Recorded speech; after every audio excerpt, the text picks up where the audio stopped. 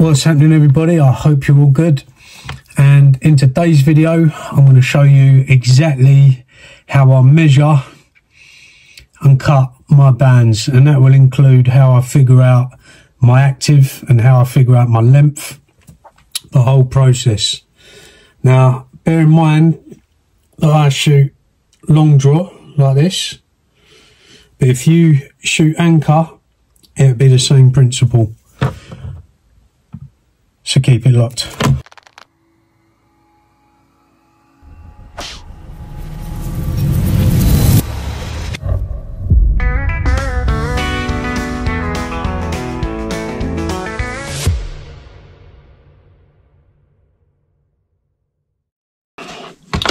What we're going to do here is lay out a piece of the band that you're going to be using and then you just draw on one centimeter and then you stretch that.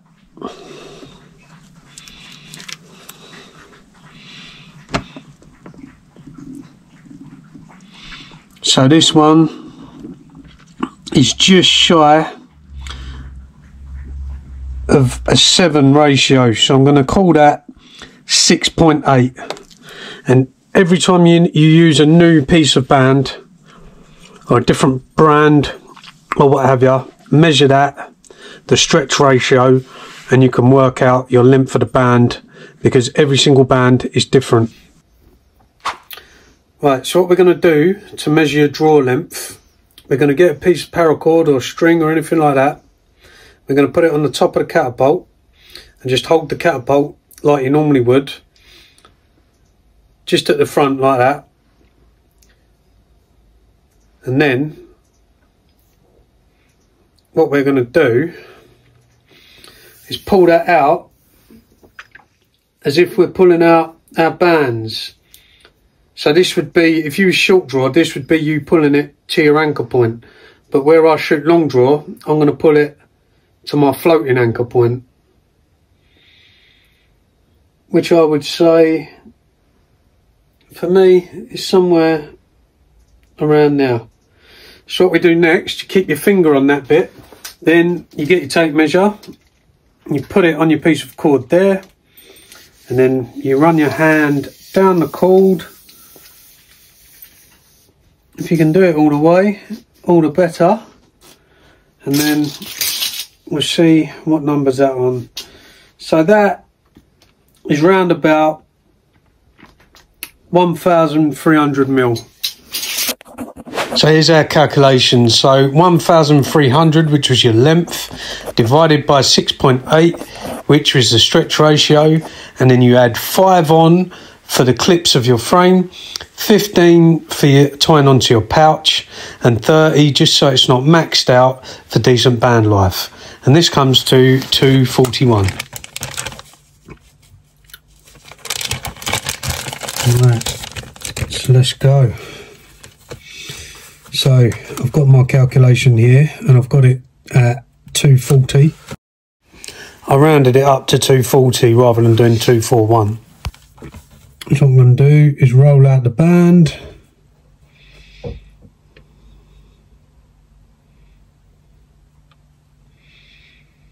Now I'm going to cut this to 240.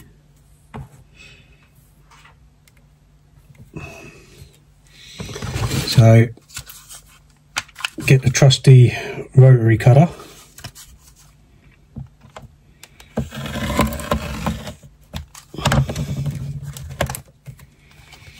Nice. Always keep your band in the plastic bag, make it last longer. And I use just one of these, don't know what it is, what is it? Quilt and sew ruler. I just find it a bit easier for holding all the band down, if you know what I mean, than just a thin ruler. Um, yes, I just use that as a cutting line, really. And I must say as well, I got myself an all singing, all dancing Olfa 60 mil cutter. But I found that these blunt a lot quicker and don't give you as nice a cut. So I went back to the 45 mil cutter and I like that a lot better.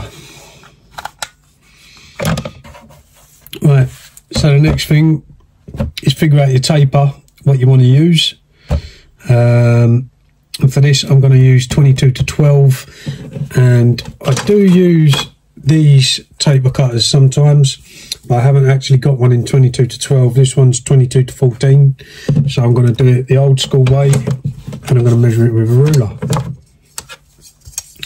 So what we're going to do is just go 22 to 12 all the way down both sides. Right then guys, now you've got your taper sorted 22 to 12, 12, 22, 12, 22 and so on all the way along your sheet. And then what I do, I use my quilt and sew ruler and we cut these between each dot. So you don't have to press too hard with this, just firm. And that bit's an offcut, so we throw that bit away, and then the rest will be our band sets. So you make sure you line up the dots nicely. You can also layer up two sheets on top of each other and cut and you'll get a directly matching pair each and every time. But that can be a bit hit and miss. Sometimes it doesn't cut too well because you're cutting through two. Sometimes they might sort of move around on top of each other and things like that. I mean you can wet them and hold them down together but I think this way is just straightforward and you can't go wrong. So what you'd do, you'd carry on and you'd cut the rest of these out. But I'm just going to do one for now just to show you how I do it. So what I'd do from here is we'd mark 15 mil on each 12 mil end. So each thin end will mark 15 mil because that's what I use to tie my pouches.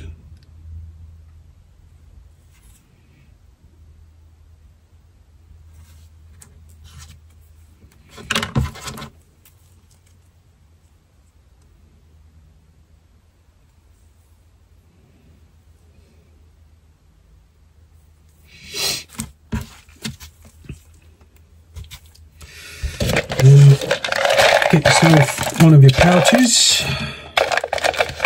I like to use these pit pouches from Sniper Sling. Now these were the original ones. They did um, change the material to this more orangey leather that was no good. Too stretchy and it stretched out. These ones last a long time. I'm not sure whether Min's gone back to this material but if it's the orangey one you don't want that you want this one and you can use various materials for tying. I mean I've got this is some whipping twine um, nano cord wax thread anything like that. And you can do what's called a constrictor knot. But I've experimented a fair bit. And I like to use this stuff. I don't know what this is called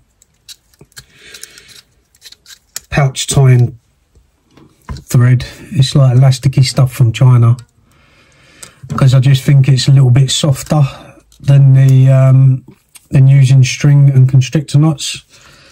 I don't know if there's any fact behind that but it just seems my bands last a bit longer when I use this stuff.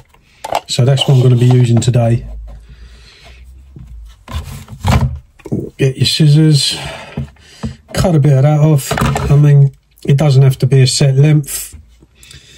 This is about what? It's about 230 mil, but like I say, I don't I don't measure it. I just cut and go. And then you get these little pokey tools that come with pouches and band and all that sort of thing. I've got loads of them because they, they come with everything. And then what you do you feed in like that. Put your narrow end through. Pull it to your mark that you've marked on with pen. Same for the other end.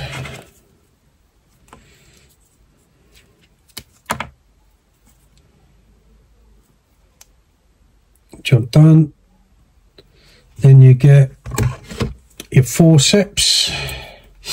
Put some tube on these because they're a bit sharp without the tube. So always keep a bit of tube on there because you don't want to be cutting your your bands. And then all you do I'll just fold straight over. I've mucked around with this. I've tried curling them and doing cylinders and all kinds of things in all honesty all you have to do is fold it nice and neat like that.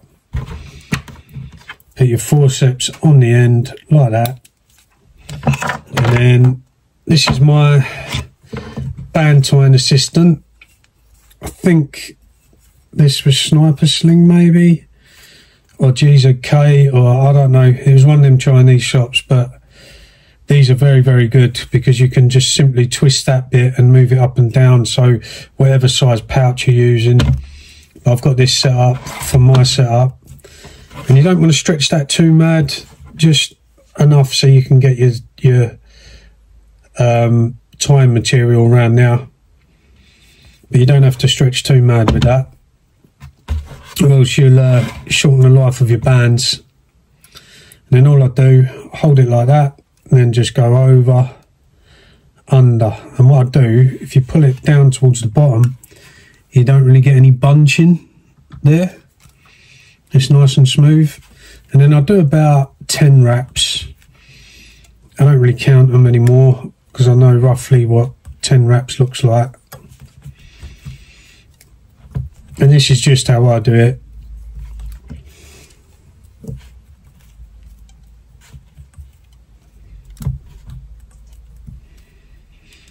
Then I'll just tie it, tie it again, and I'll give it one more for luck and then cut your ends off. And you can singe the ends of these. To be honest, I don't really do this anymore, but uh, it can sort of seal the ends so they don't fray and all that sort of stuff. There you go, so that's one end done. So you just do the same on the other end. And then that's how I make my band set.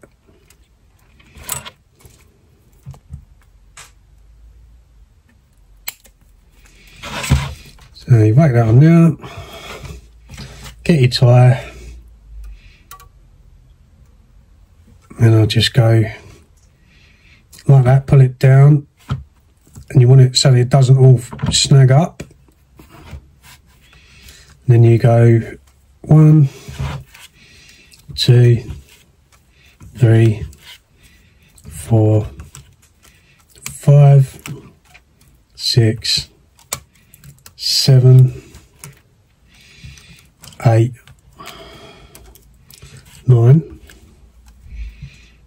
and ten. And then tie it off. One, two, three. Cut it. Singe the ends because I've done the other end like that.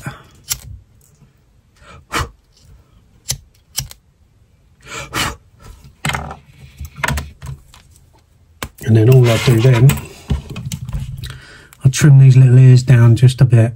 I don't go too close to the knot. Some people do.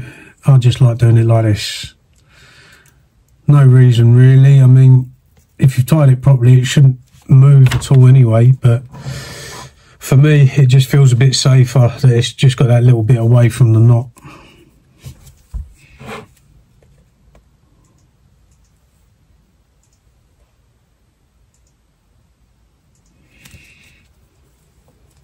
And there you go. That is how I'll make a band set.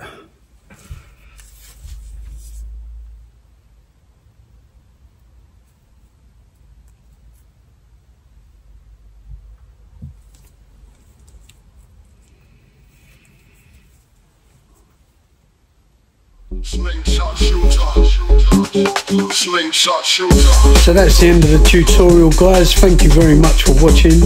And if you haven't done so already, make sure you subscribe for more content. Give us a thumbs up and comment down below. Let us know what other tutorials or what other videos you'd like to see on the channel. And I'll see you next time. Cheers guys.